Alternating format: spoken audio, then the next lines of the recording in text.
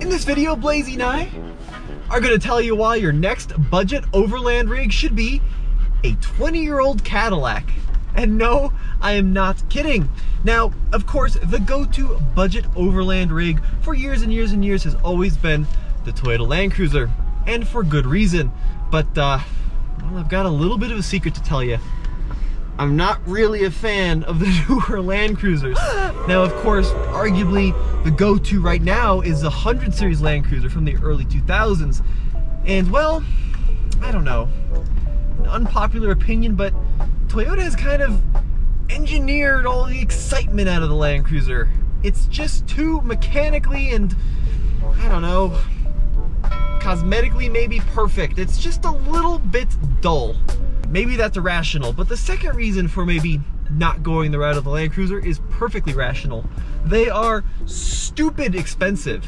Like an early 2000s Land Cruiser in this market in decent shape, it's gonna run you $20,000 plus, in some cases $25,000 plus. This vehicle, which I'm taking through Nathan's Crack, this is a $6,000 Escalade and it's actually kind of awesome. Now, what are the requirements to be a good overlander? Well, in my mind, it's gotta be a vehicle which can tackle long distance and extreme comfort, but also tackle off-road terrain. Now, this Cadillac Escalade is based on what they call the GMT 800 platform. It's the early 2000s General Motors full-size truck platform. So it was like the Silverado, the Sierra, but also vehicles like the Tahoe, the Suburban, the Yukon, and of course, the Escalade. Now the Escalade was primarily bought by like two people. There was Barry Manilow, and then there was like Jay-Z. Uh, and yeah, they don't have much of an off-road following, but they really should, because they're surprisingly capable. Now Blaze and I are at our off-road course here at Tumbleweed Ranch in Colorado and we're gonna see just how capable this Escalade is. Does it have enough off-road chops for your long overland adventures? And the first challenge is called holes, these articulation mounds, and we shall see how the all-wheel drive system works. Now that is a big surprise to me. This second generation Escalade doesn't have a conventional four-wheel drive with two high, four high, four low. It's got a full-time all-wheel drive system with something called StabiliTrak which is electronic traction control. So dipped into the first hole, independent front suspension with a solid rear axle, nicely into the second hole, really articulating well. It's okay, Blaze. All right, all right, lifting up tires a little bit. Do we have enough ground clearance? I think we do. Come on, come on. Very impressive, actually. That was really pretty good.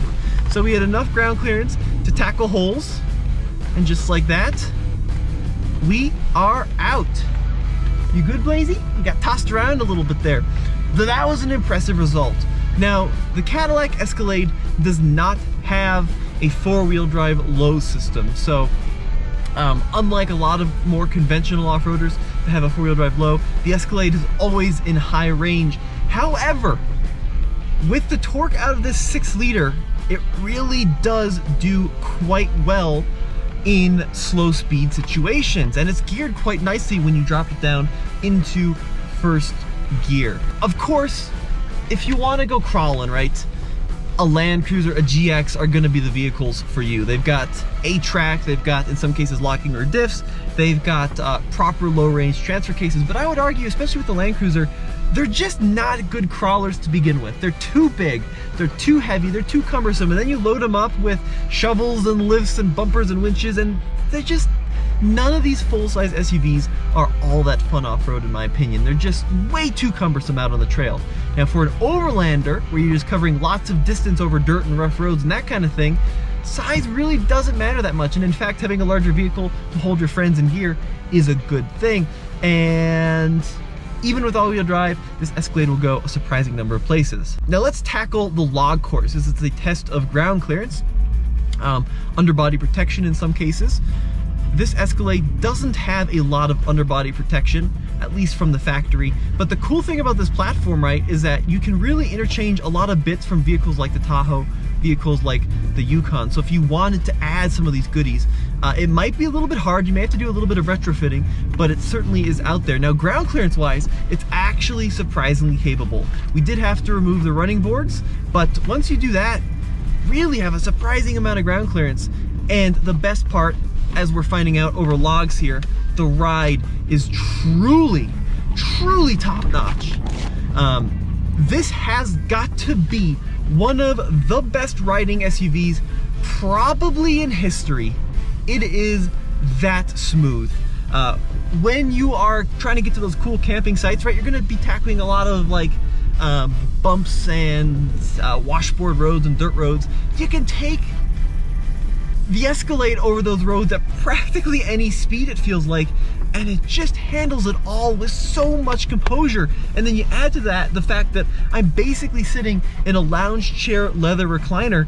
It's a fantastic road trip vehicle. I'd argue better than pretty much any new vehicle today. It glides over just about any road imperfection. Now it does have something called RSS, road sensing suspension. So it's got height leveling rear suspension with these little air bladders and the shock absorbers. Um, and then it's supposed to be adaptive and help you kind of you know, uh, a contour to the road. I think a lot of that was probably marketing back in 2003 when this vehicle was new, but um, whatever it is, it's got soft springs and soft, uh, soft uh, shock absorbers. So the, the net result is a very compliant ride.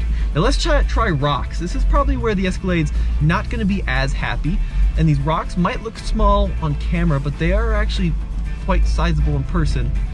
And let's see if the uh, all-wheel drive system approach angle, departure angle, and articulation is good enough to get us over this obstacle. So far, so good. That six liter just humming away. Now, fun fact, this six liter was the most powerful SUV on the market when this vehicle debuted for the 2002 model year. It's got 345 horsepower, but lots of low end grunts. It just absolutely crawls over anything from a torque and power perspective, even without the low range. And the gearing is surprisingly adequate for this kind of thing. This is about as hard as you'd probably want to tackle out on an overland trail. And I think we just crawled right up it. A little bit of a bottom out there at the end, but um, really amazingly capable. Now let's put it all together and tackle Volcano. And Volcano is a great test of approach departures. It's really steep little climb, it gets very articulated, and we shall see how the Escalade does. Now, one of the things I positively adore about this Cadillac is just how over the top it is. This interior is ridiculous. It's got the finest walnut from the highest quality fake plastic trees found in the US. It's just got like ridiculous design touches with this Bulgari clock and these overdone gauges and the little tiny infotainment screen and it's just fun. Something you miss in a lot of the Toyota products.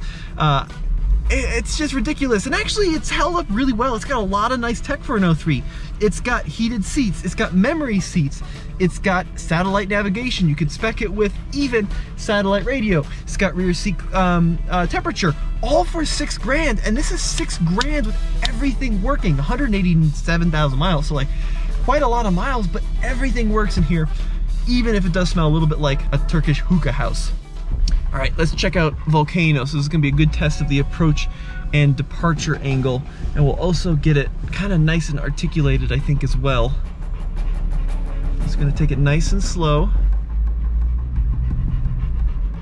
Ooh, very impressive, actually. Now, I don't wanna bottom out the rear end, so I'm gonna really get this thing off kilter and see if we can't get tires in the air here and see how that traction control system actually works. So I'm gonna point it up kind of at a side slope here. Really start lifting up tires right about there. Okay, it's thinking, it's thinking. Come on, StabiliTrak, let's see what you got. Let's see what you got, StabiliTrak. Oh, definitely slapped the rear end a little bit on that departure, but actually, come on, come on for a 20 year old Cadillac, Cadillac, that traction control worked really well. Maybe not as good as A-TRAC from Toyota, but really pretty impressive. Well, we did have a little bit of a casualty coming up Volcano. You can see that the rear bumper cover has uh, broken a couple clips and then actually the parking sensor has fallen out. But I think I can pop that little guy back in and then we'll be good to go. A uh, couple new clips and yeah, clearly the departure angle was an issue there.